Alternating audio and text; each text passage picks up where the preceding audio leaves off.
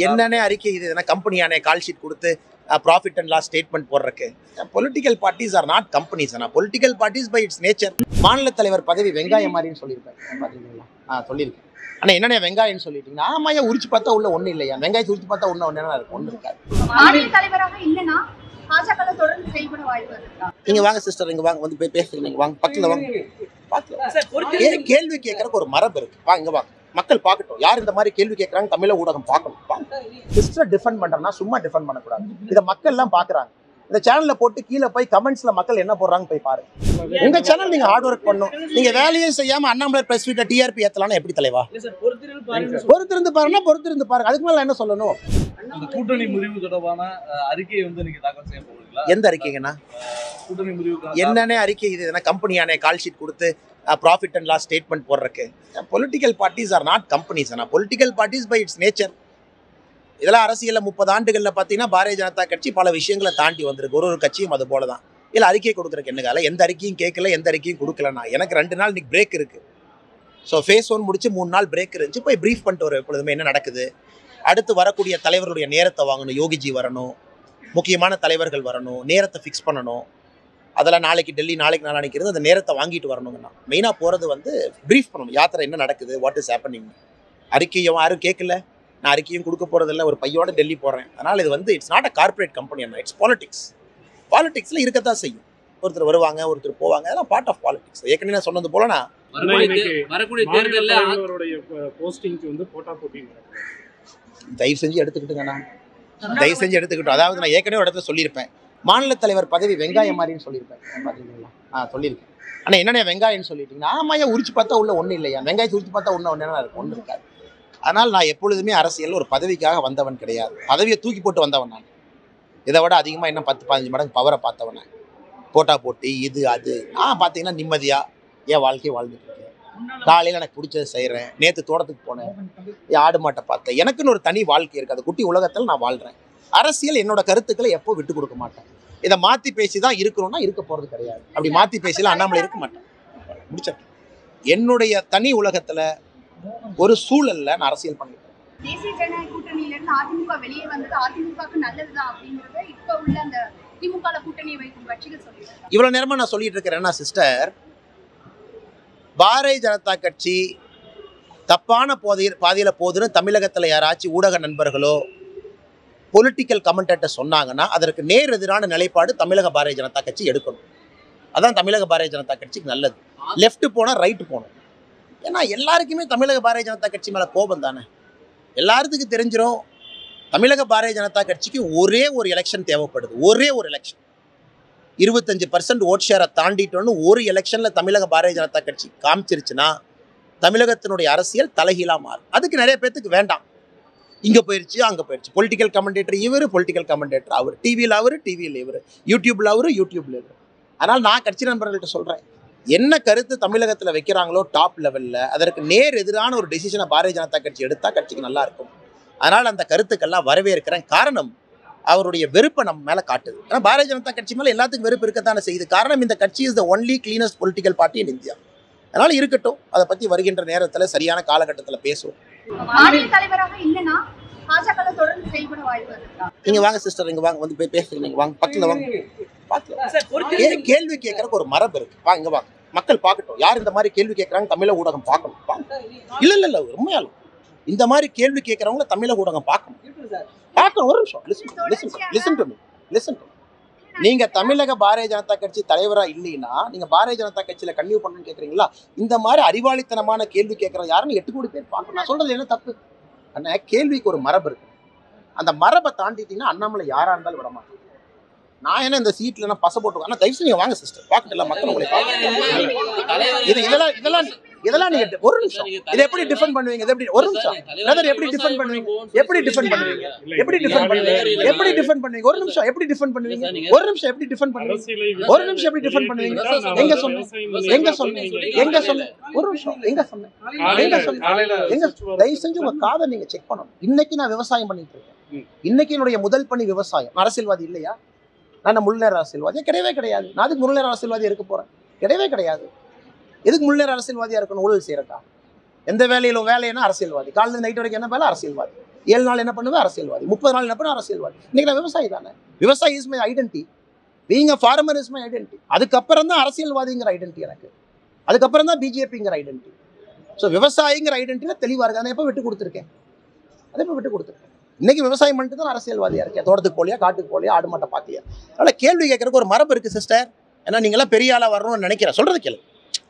ஜேர்னலிசமில் you should come very high in life it needs a bit of ethics it needs professional grounding தப்ப தப்புன்னு சொல்லுங்க சரி சரின்னு சொல்லுங்க. I'm the first person to admire it but கேள்விகள் முறையா இருக்கும். தவறு தவறா போயிடும் நீங்களா வளரணும்னு நினைக்கிற ஒரு நிமிஷம்.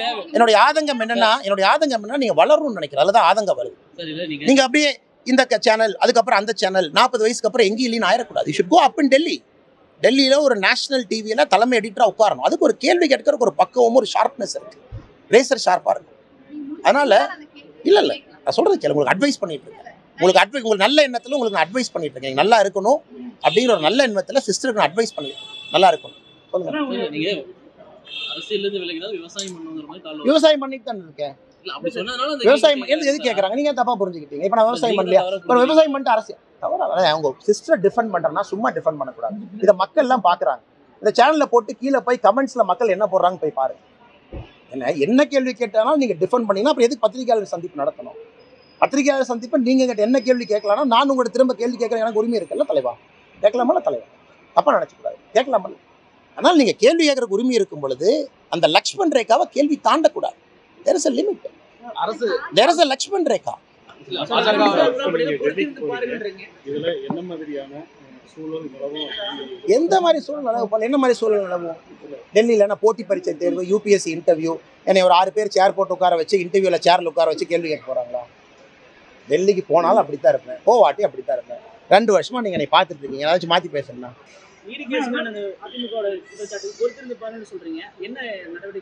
தெரியல தலைவர் டிஆர்பி ஏற்றுறதுக்கு நான் ஏன் தலைவர் பதில் சொல்லணும்? உங்கள் எடிட்டரை கூப்பிட்டு சொல்லுங்க. உங்கள் டிஆர்பி நான் ஏற்ற நான் ஏன் தலைவர் ஹார்ட் ஒர்க் பண்ணி உங்கள் டிவி நல்லா ரன் பண்ணி நீங்கள் நிலைமையாக இருந்து டிஆர்பி ஏற்றணும் அண்ணாமலைட்ட இடக்கு கேள்வி கேட்டு அண்ணாமலை பதில் சொல்ல. அதை வச்சு என் டிஆர்பி ஏற்ற பார்க்குறீங்க உங்க சேனல் நீங்க ஹார்ட் ஒர்க் பண்ணும் நீங்க வேலையே செய்யாம அண்ணாமலை பிரஸ் வீட்டை டிஆர்பி ஏத்தலாம்னு எப்படி தலைவா?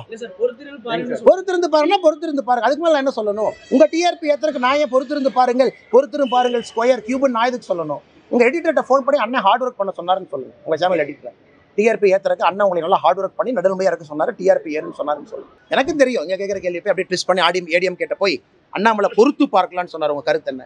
ஜெயக்குமார் அண்ணன் செல்லூர் ராஜாண்ட போய் கேட்பீங்க அவர் சொன்னோடனே அதுக்கு ஒரு கியூபை போட்டு அவர் எப்படி சொன்னாங்க?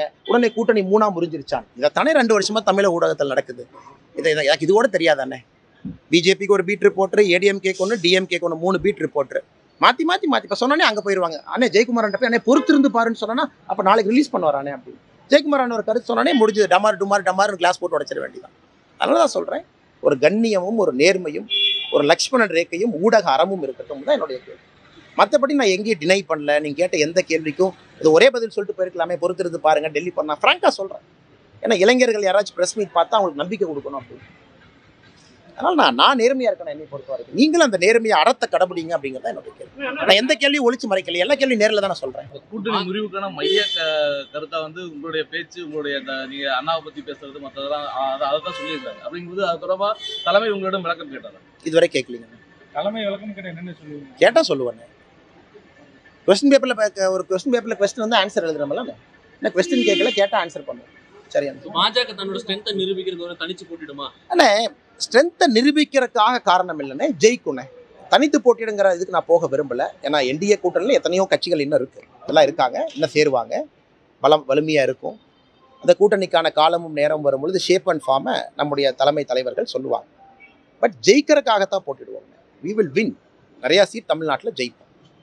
அதனால தான் இன்றைக்கி எல்லா கட்சிகளுமே பயந்து போயிருக்கிறாங்க. பாரதிய ஜனதா கட்சியின் மீது இவ்வளோ அட்டாக் பண்ணுறாங்கன்னா என்ன காரணம்? ஸோ ஏற்கனவே சொன்னது போல் சரித்திரத்தை எப்பவுமே திரும்பி பார்க்கும் பொழுது தான் ஒரு விஷயம் ஏன் நடந்துச்சுன்னு தெரியும். ரெண்டாயிரத்தி இருபத்தி நாலு பாராளுமன்ற தேர்தல் நடந்த பிறகு நமக்கு புரியும் எந்த கட்சி எவ்வளவு பலம் வாய்ந்தது.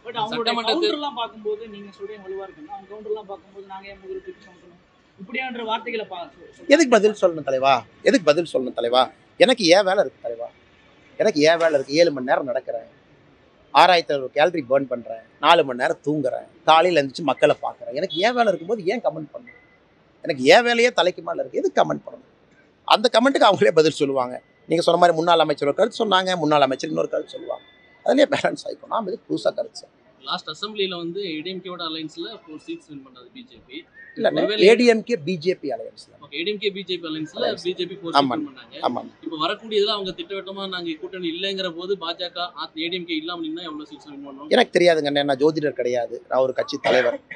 என்னை பொறுத்தவரை இந்த கட்சி வந்து இரட்டை இலக்கத்தில் வந்து ஓட் ஷேர் இன்னைக்கு பிஜேபிக்கு இருக்கு. இரட்டை இலக்கத்தில் இருக்கு. இன்னைக்கு பிஜேபி பல இடத்துல தமிழ்நாட்டில் ஜெயிக்க போகுது.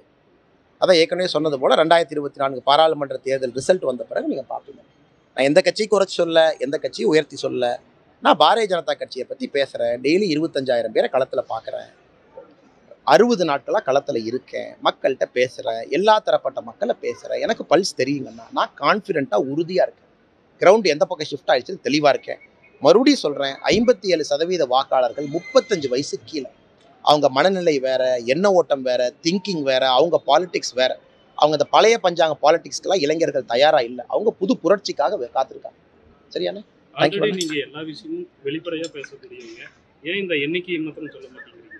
இன்னைக்கு உங்களுக்கு ரெண்டாயிரத்தி இருபத்தி நாலு பின்னாடி பாருங்க முப்பத்தொம்பது சொன்னா அப்புறம் உங்களுக்கு ஹார்ட் அட்டாக் வந்து உங்க எடிட்டருக்கு ஹார்ட் அட்டாக் என்ன முப்பத்தொம்பது சொல்லிட்டா? அப்படி அதனால எதுக்கு சில நம்பர்ல- எதுக்கு எதுக்கு சில நம்பர்லாம் சொல்லணும்? இன்னைக்கு இருபத்தஞ்சுக்கு மேல கூட இருக்கலாம்ல யாத்திரைக்கு அப்புறம். யாத்திரைக்கு அப்புறம் இருபத்தஞ்சுக்கு மேல கூட இருக்கலாம்ல. சொன்னா சில பேத்துக்கு சென்னையில குளிர் காய்ச்சல் ஜுரம் வந்துடும் எதுக்கு சொல்லணும்?